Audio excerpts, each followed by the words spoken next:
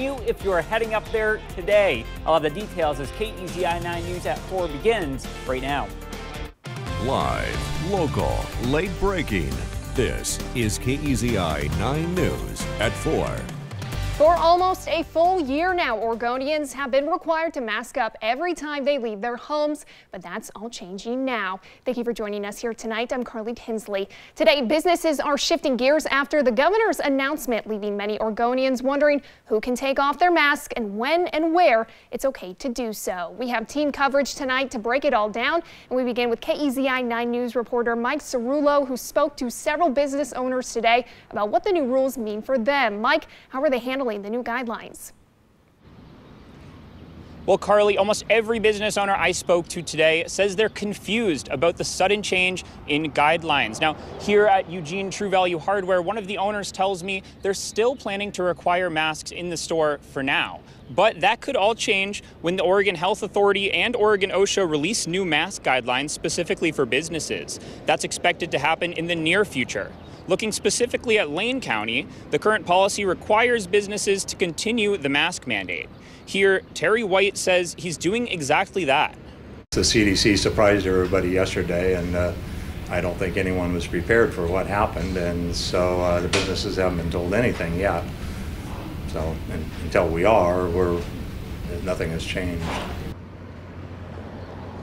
Many business owners I spoke with today say they've gotten a lot of questions from customers about the new mask rules, many of which they aren't able to answer because no clear guidance has been issued from the Oregon OSHA or the Oregon Health Authority. And coming up in the 5 o'clock hour, I'll have news from a local gym that's planning to allow customers to breathe a little easier. Reporting live in Eugene, Mike Cerullo, KEZI 9 News. Mike, thank you. And now we know the plan for one of our school districts in the future. Roseburg Public Schools will have a full return to in-person learning for all grade levels this fall. They'll be open full-time five days a week. The district expects to continue receiving updated guidance from the Department of Education and the Oregon Health Authority on safety measures for schools, and they will provide regular updates to students and families, which you can find on roseburg.k12.or.us. And continuing with our team coverage coverage now in the CDC's new mask mandate. There are some places that won't see much of a change. KEZI 9 News reporter Chris Lindsay is live in Eugene to speak with some businesses that are sticking with their approach due to the CDC's guidelines. Chris. Yes, that's right, Carly. Regardless of if you are vaccinated or not, if you want to take any form of public transportation, you must wear your mask. In fact, Oregon is continuing to require masks at hospitals, healthcare clinics, long-term healthcare facilities, and correctional facilities. I spoke with Pat Walsh, the Lane Transit District. He says the mask rule applies before you even step foot on the bus.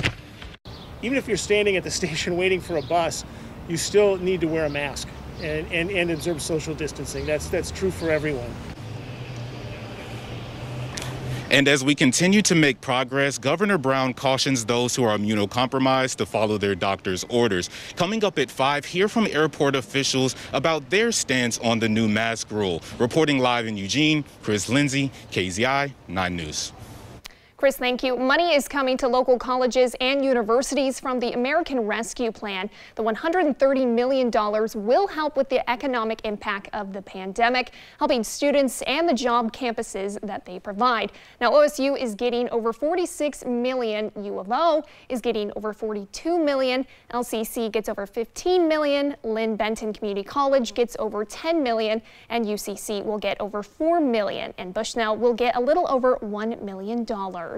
The state government is moving forward with plans to fund K through 12 public schools. Senate Bill 5514 will invest $9.3 billion into the schools this year.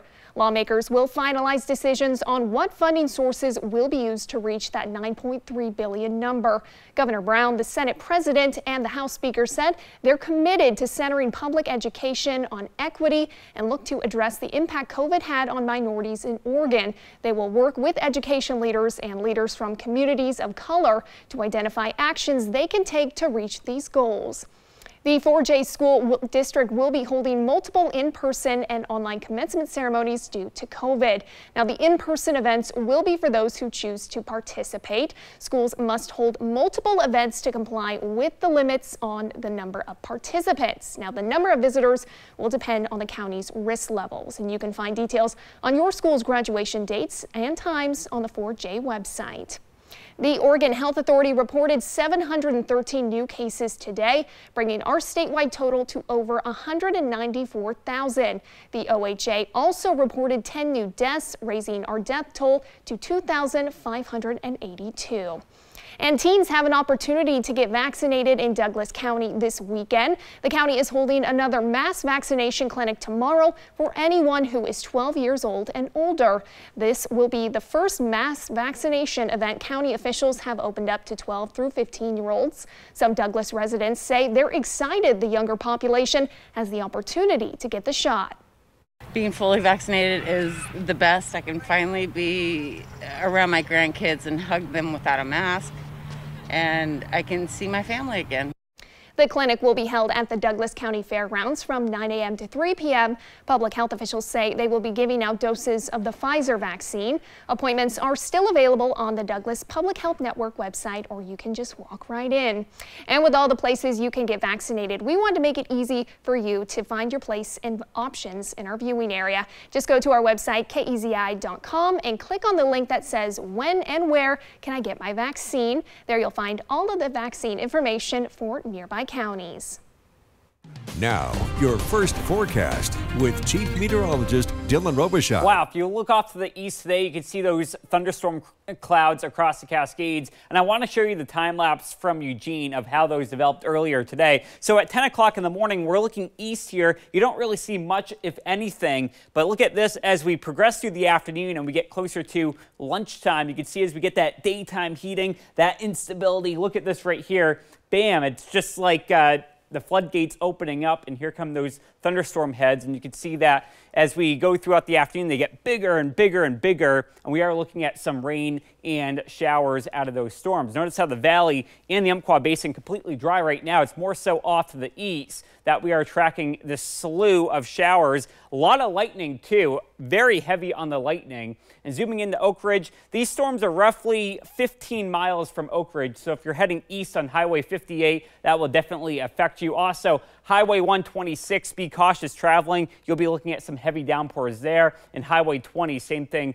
for you as well. As we head toward the evening hours, by 6 and 7 p.m., a lot of the storms are gone. We clear out overnight tonight. Tomorrow morning, here comes the fog up and down the coast, the valley in the Umpqua Basin looking at a very sunny and dry weekend a Douglas County man has purchased a piece of property near downtown Roseburg in hopes of turning it into a recreational paradise. The 25-acre Elk Island that sits below the Reservoir Hill was purchased by longtime Roseburg resident Bernard Woodard and his property management group, Elk Island Trading. He says he's been eyeing the property for a long time and has made efforts in the past to clean up the space. Woodard says he already has an idea of what he wants to do with it. Elk Island will eventually be a, a potential fishing resort uh, from a bridge from Pine Street Overlay and tree houses, uh, elevated yurts, seasonal camping, zip lines, all kinds of fun recreational things for the community. Woodard says they will spend the next year cleaning up Elk Island. He says he also hopes to recruit some homeless people to help in exchange for temporarily living on the island.